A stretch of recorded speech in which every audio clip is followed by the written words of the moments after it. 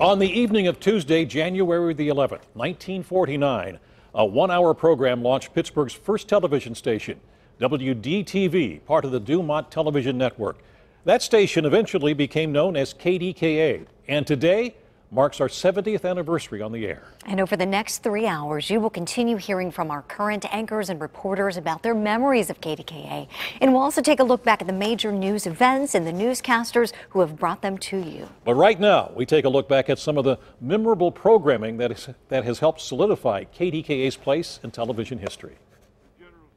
Welcome once again, folks. Slim Bryant and his Wildcats was just one of the many flagship shows during the early days of WDTV.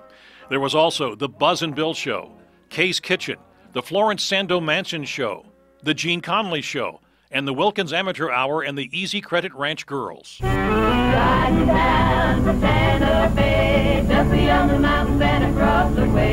In March 1952, just three years into existence, WDTV became the first television station in the country to broadcast 24 hours a day.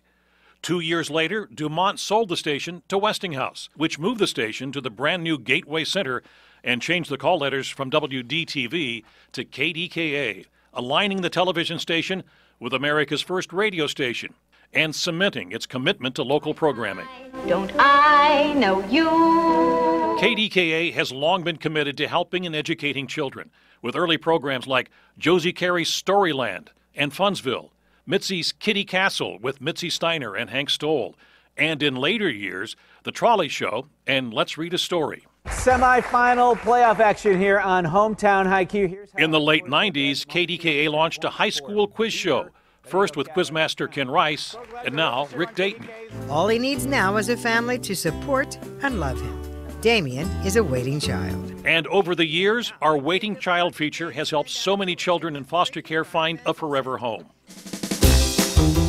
The late 50s and early 60s brought rock and roll into American homes on the radio.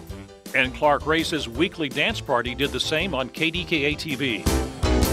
And for fans of more standard musical fare, there was The Wonderful World of Johnny Costa. The 60s brought several talk shows to the airwaves, shows like The John Reed King Show and The Marie Torre Show, hosted by one of America's pioneering female journalists. The criteria really uh, has to do with uh, looks more than ability. In 1968, KDKA launched The Yvonne Forston Show, making her the first black reporter to have her own TV show. A decade later, another pioneering show hit the airwaves. Good evening and welcome to a very special edition of Vibrations. I am Lynne Hayes Freeland. Vibrations created a weekly forum for the local African American community.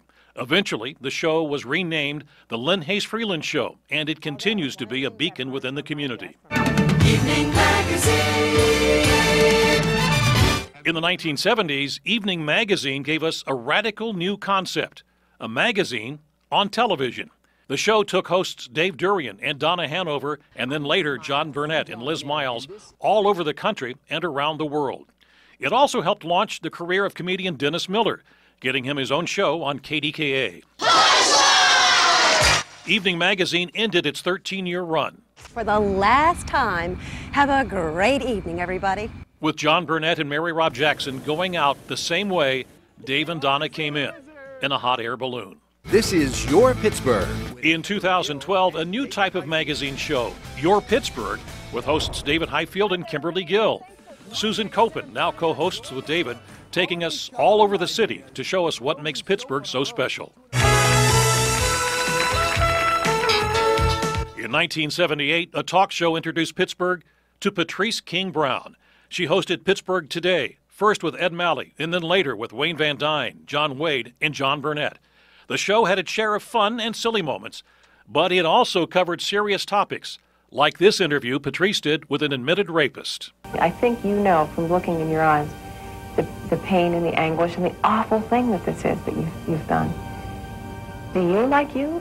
Pittsburgh Today in the afternoons ended after 11 years. But the concept eventually returned in 2002 as a morning talk show called Pittsburgh Today Live. Jennifer Antkowiak signed on as the first host, and then Kristine Sorensen took the reins for more than a decade. And now Heather Abraham comes into your home every morning at 9. From the most trusted names in local news, KDPG Sunday Edition. For nearly 20 years, KDKA has had a strong partnership with the Pittsburgh Post Gazette, including our weekly KDPG Sunday Edition. Welcome to the Sunday Business page. KDKA also continues to provide unique business news on the Sunday Business page. Bill Flanagan began that show in the 90s, and John Delano continues it today. I'm your ringmaster, Bob Pompeani. And we have a lot to get into tonight.